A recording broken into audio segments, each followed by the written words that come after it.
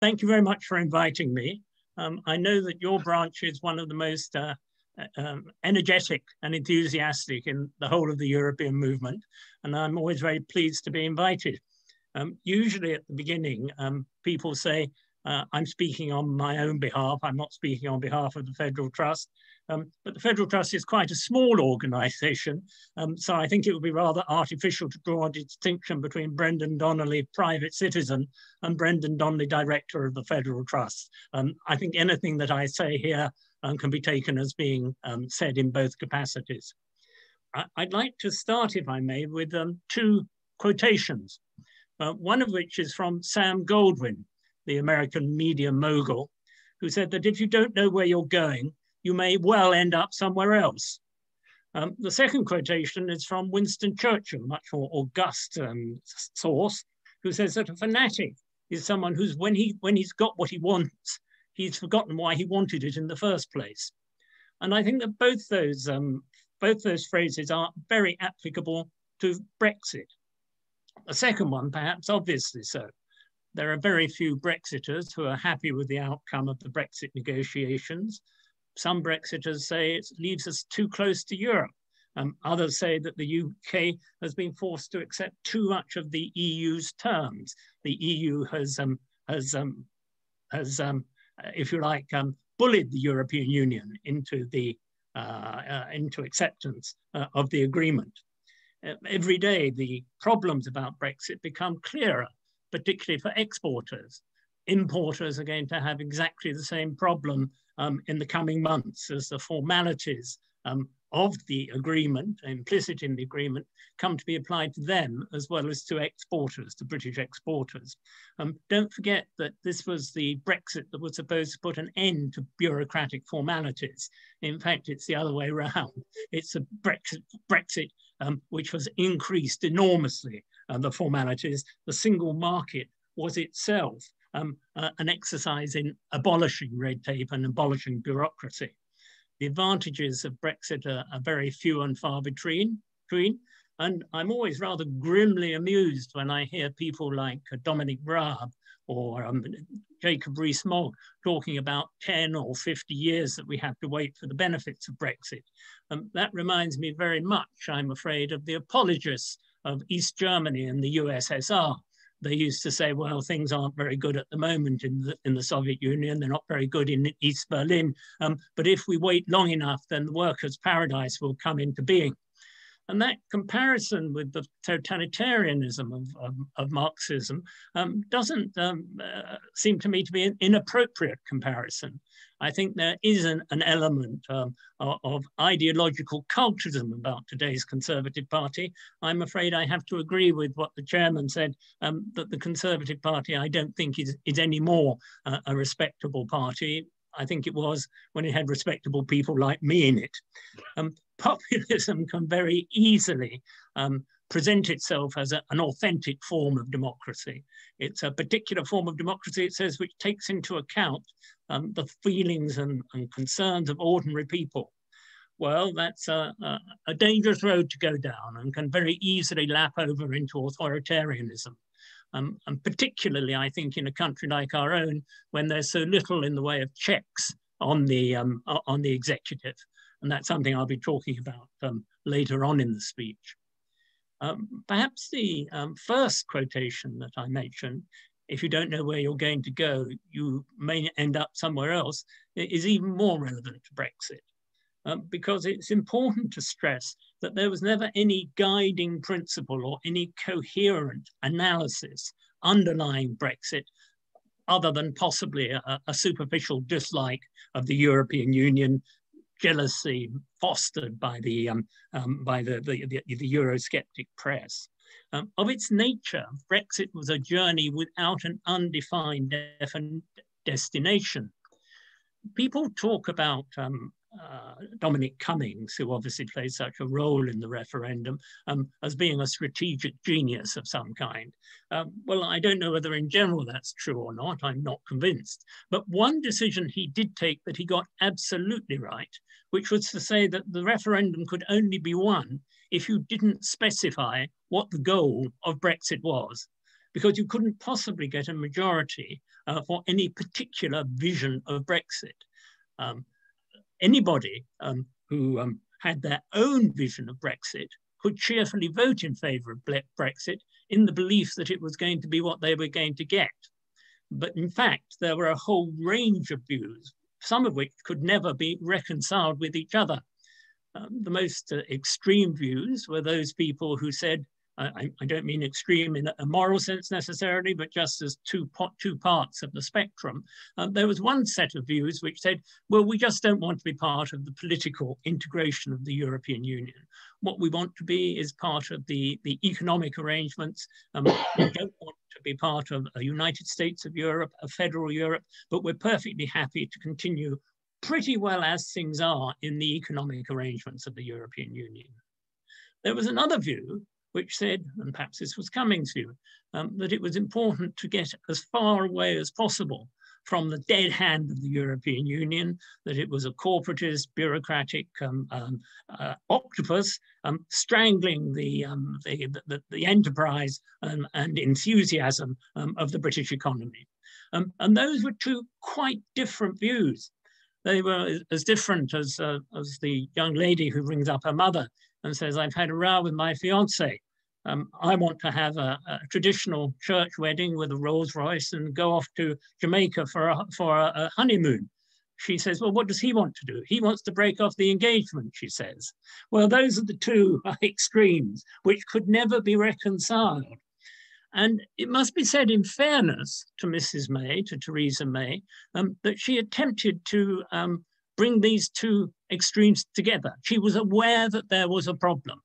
I'm not saying she made a very good fist of trying to solve this incompatibility, but at least she was aware there was a difficulty.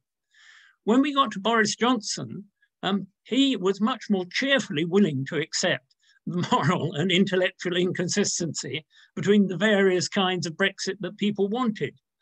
Um, um, a great example of this was Northern Ireland where having signed up for an arrangement which, contrary to Mrs. May's um, proposition, um, produced a, a border, a, a, frontier, if you like, in the middle of the Irish Sea, he then denied that. Um, and perhaps, and I'll talk later about that, it's his intention to undermine um, this, um, um, this uh, uh, agreement. I freely confess that, that I didn't think there would be any agreement, and perhaps some of you have heard me saying so. Um, I'm, I'm not sure that I was entirely wrong in the sense that the agreement itself is so flimsy um, and so much an outline of what might happen um, that uh, perhaps um, those people like myself who thought there would be no agreement weren't entirely wrong. Nor do I think it's impossible that this particular agreement is going to collapse in due course. I, I think there's a possibility I wouldn't put it uh, as a certainty by any means, but I think there's a possibility that this government is moving towards um, uh, renouncing um, or at least undermining this agreement. Um, I've already mentioned the problems of touring museum musicians, of um, fishermen, farmers, and the shellfish producers. But there are three elements of the agreement that I particularly like to, to dwell on, which I think bring out uh, how flimsy it is. The first element is that far from being a settlement um, of, um, of the, of the um, outstanding points between the European Union and the UK, it, it's very little more than an outline. It's a skeleton upon which um, many different kind of clothes or flesh could be put. Um, there are literally dozens of committees that are going to implement and monitor the application of Brexit. Um, it's quite wrong to say that we know, even if the agreement survives, um, what Brexit will look like at the end of that time. Uh, it will depend very much on, on a, a, myriad of decisions taken by these committees. Um, there's a, a one-year revocation right for either side of the uh, agreement. Uh, and there's a, a five-year review of the agreement um, when a number of other decisions, particularly, um, particularly um, relating to fisheries, will be taken. Um, uh, most significant of all for the uh, provisional nature of the agreement, I think, are the level playing field provisions. These level playing field provisions clearly derive from the fear of the European Union that the United Kingdom will use its position um, as having favored tariff-free, quota-free access to the internal market um, in order to down to dump for social dumping, as the EU would see it. Um, and they're not going to put up with that. And they have these rights of retaliation in terms of tariffs and quotas um, if they think that the United Kingdom is not living up to its obligations. Um, the whole of the agreement um, is, is full uh, of possibilities of suspension, of, um, uh, uh, of disapplication, um, of provisionality. It's very, very striking as you read it. The second point I'd make is about the um, Northern Ireland Protocol, which I've already referred to. Um, understandably, and at the um, urgings of the Irish government, um, the British government was put under a great deal of pressure by the European Union um, to agree to a special status for Northern Ireland, uh, a special status which would um, ensure that there wasn't uh, a, a, hard border, the return of a hard border in, in, in, um, uh, in between the two parts of Ireland. that acceptance of the Northern Ireland Protocol um, has always been a matter, obviously, of extreme unease for the British government. And just today, we've had the news, the rather disconcerting news, um, that the British government intends to extend the various grace periods um, until at least October um, for applications of, of various provisions of the um, of the protocol. Now that's not something that under the protocol the British government can do on its own. It's something that it's done unilaterally. Um, and it may well be in response to the ERG, the Euro European Research Group, who have said that the, the, protocol should be dumped entirely. Now, this is quite significant uh, as a development. If there were any attempt to, to dump the protocol, then that would throw in doubt um, the whole um, ratification of the um, uh, of the agreement, particularly by the European Parliament, who have all already postponed a decision on when they are going to have a ratification debate.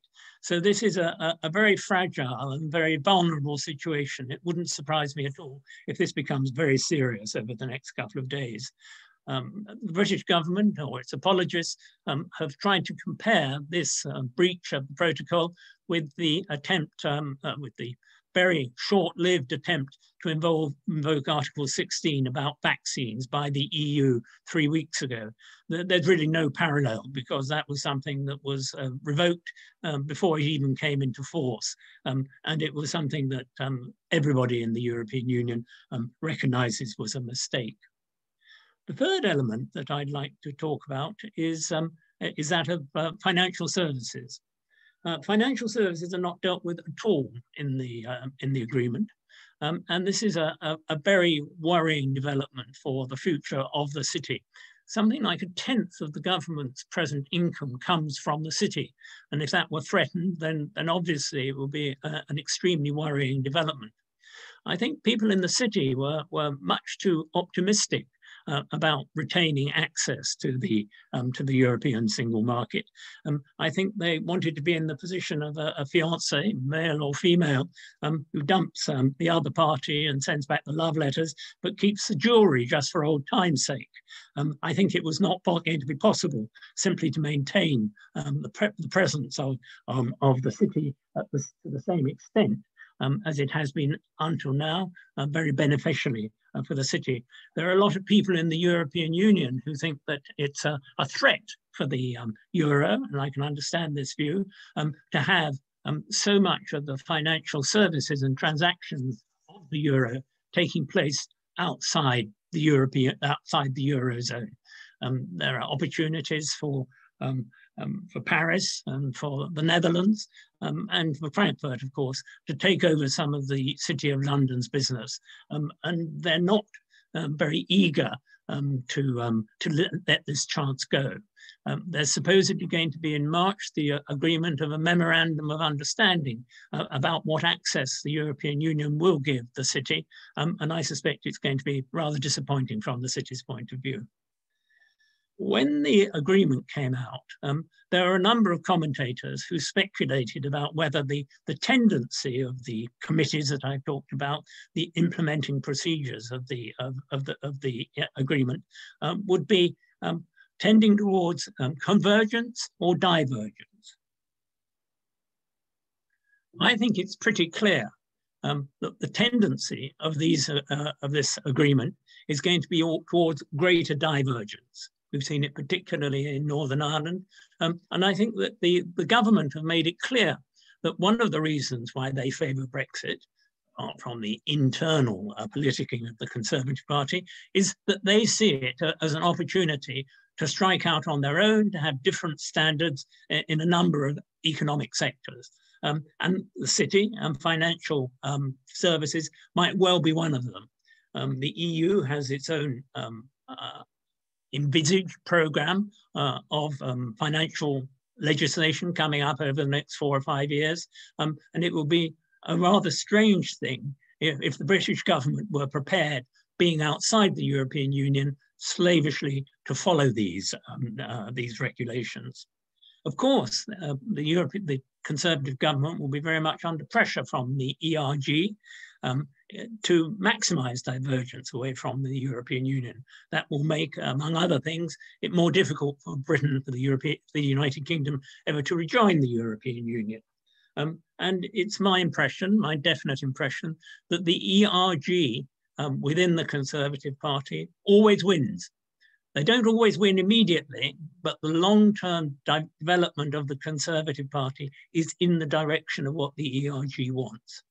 The appointment of David Frost, of Lord Frost, um, is, it seems to me, um, very much a pointer in this direction. Um, I don't think you would um, appoint David Frost um, to be in charge uh, of the regular negotiations between the EU and the UK if convergence was, was your goal and your aim. Indeed, I, I predict something of a Cold War um, between the European Union and the United Kingdom coming to be the way in, in which this um, implementation of the agreement, if it survives, um, will, will take place. Um, I don't think that convergence is what this um, agreement is about. I think it's about divergence. So the question is, um, what should we, we in the broader sense of people who were Remainers and still are Remainers in, in their ideas, what should we do? Well, I, I certainly don't think we should give way in any sense to resignation. Um, I think the idea that Brexit's done and now it's up to us to make it a go of it um, is mistaken on a number of levels. I don't think it's possible to make Brexit work. Um, I don't think it has any moral claim to make Brexit work. And I think it's a very strange thing um, for people who know the harm that Brexit is doing to their country to keep quiet about it. So I entirely agree with what was read out about the need for the European movement um, to point out um, the, the failings and the problems of Brexit. But I would go further. I would go further and say that we must point out that the only way in which these problems can be remedied is by rejoining the European Union. Uh, I know there's a view which says that at the moment it's so politically unrealistic to join the European, rejoin the European Union that the way to go about it is perhaps to advocate um, uh, rejoining the single market, rejoining the customs union, and then very gradually getting into the way of, of people's understanding um, that there are common values and common interests between the EU and the UK. Um, I don't believe that. Um, I think that um, uh, uh, it won't make any difference to the political presentation of the case for rejoin to be seen to be mealy mouthed about it. Uh, I think you might as well be hung for a sheep as a lamb. And I think that it's only really within circles like our own, where people already have their minds made up, that the distinction between the, the commercial, the, the customs union and the single market and being in the European Union really matters. I think that if the European movement or other organizations press um, for a stage return to the, to the European Union, um, they will still be presented by the, the Conservative government uh, as being Remoaners, Remainers, people who've never um, accepted Brexit outcome. Um, and I think um, there's no particular reason why in a democracy we should accept for all time um, the Brexit outcome, um, of the, uh, the outcome of the, of the Brexit referendum. Um, I know that the Labour Party have taken the view um, that they rather hope that it'll be possible to get through the next four years without talking about Europe. Uh, I think that's wrong. I don't think that they'll be able to do so. Um, and I think that um, simply taking the, um, uh, the tone, their tone from Boris Johnson will make, make um, Keir Starmer appear weak and uncertain. On the other hand, I'm not a member of the Labour Party. It's not up to me to, to, to advocate particularly where they think their political interests lie. But what I am sure about, or much surer about, is that voluntary organizations, which don't have these political calculations in mind, um, should be uh, unambiguous, not merely in saying that um, there are problems associated with Brexit, but that we see the only way of remedying these problems uh, as being to rejoin as soon as possible. Now, a, a question that's um, then put to me uh, very reasonably, and I'm sure someone will put it, is would the rest of the European Union want us back? To which um, I have to say that I don't think in the present state of British politics, um, they would. Now, since the present state of politics, British politics are not going to allow us to make an application to, reju- to rejoin, this is something of, of a circular question. So um, uh, the, the one excludes the other.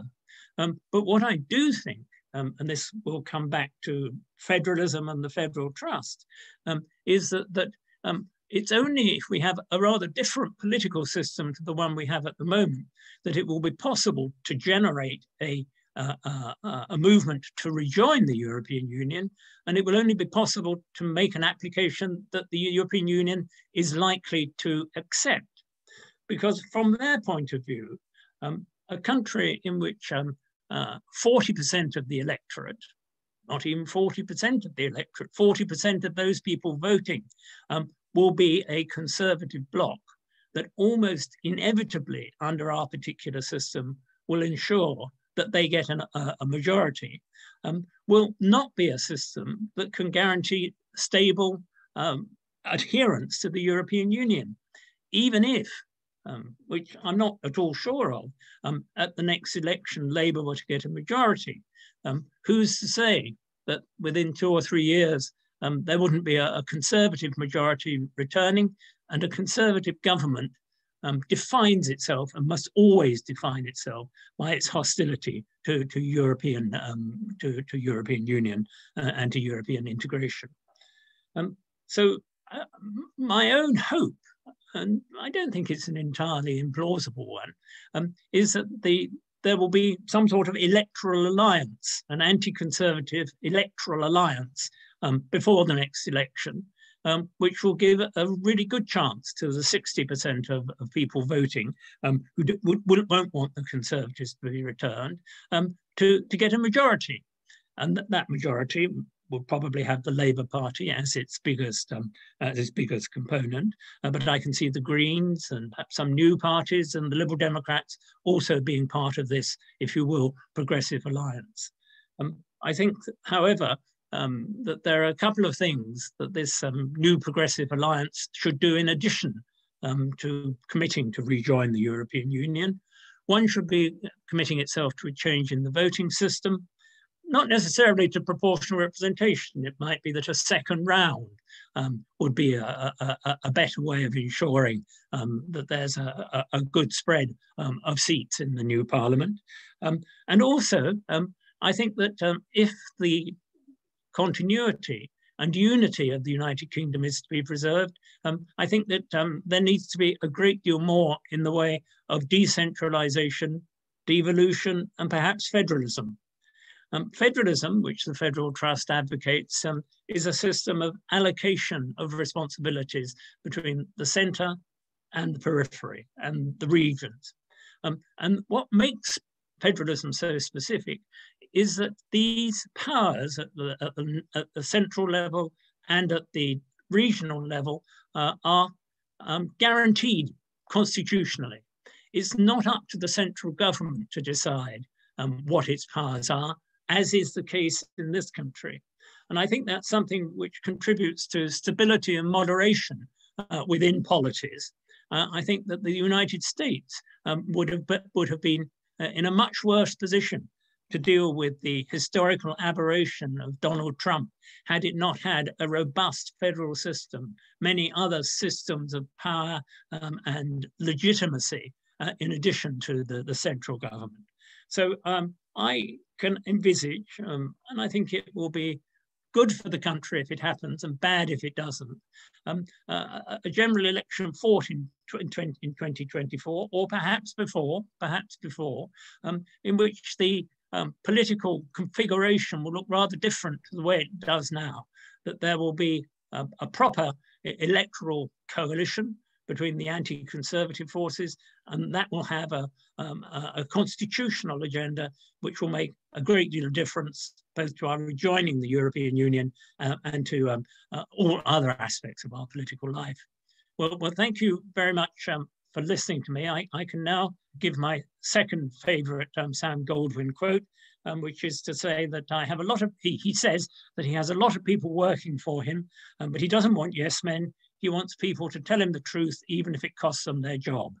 Well, I hope there won't be too many yes men um, in the questions. I imagine there won't be lots of people will be disagreeing. Um, if you think you've agreed with everything, you haven't been paying attention.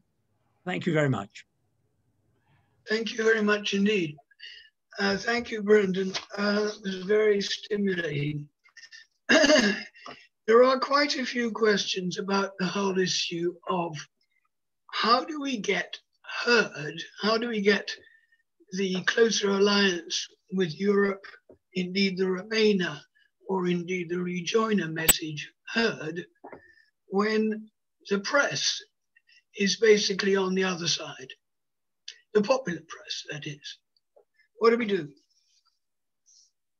Um, I think sometimes um, we ourselves, on our side of the argument, um, have been afraid of controversy. We've been wanting to accept too much of the terms um, of the debate dictated by our opponents. And federalism is a very good example of that. A lot of people say, uh, well, I'm all in favor of the European Union, but I don't want federalism. I'm afraid, Mr. Chairman, you yourself came, came quite near to saying it um, in the introduction. Um, I, I think that we should be more honest with the electorate, saying um, that the European Union is not simply um, an economic arrangement, it, it's a political and cultural arrangement as well, which has important central institutions. And I think that that might pick up um, a bit more in the way of traction. Uh, one of the reasons why um, uh, Farage always managed to get on um, television was that people knew that he'd say something outrageous.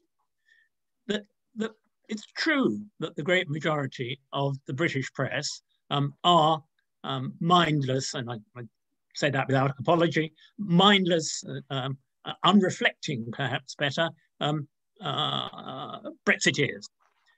Um, but nevertheless, um, if something is put sufficiently controversially um, and unashamedly and unabashedly, um, there is a certain interest in the press um, in controversy.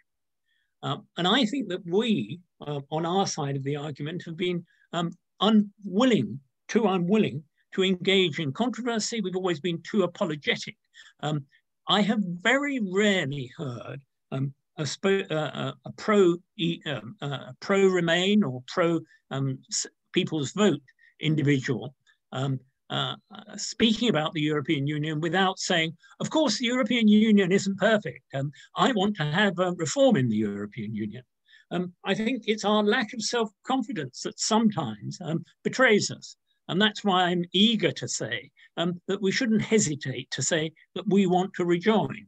Um, and if people don't like it, well, fine, um, because then that sets up a controversy. It's also the case that um, uh, we, it seems to me, um, have to be active in trying to persuade the Labour Party, who are a most important vehicle um, of, of our potential vehicle um, of our uh, of our message. Um, and I think we should make clear, as, as it were, rejoiners, um, that our vote for the Labour Party or for the Liberal Democrats or for the Greens or whoever it is, is not to be taken for granted unless um, they give us what we want on, on rejoin. Uh, if you ask me, do I know um, how it's going to be possible to mimic um, the success of UKIP over the past 15 or 20 years, um, I'm not sure I know. But I don't think they knew either at the beginning of their, as they would see it, crusade.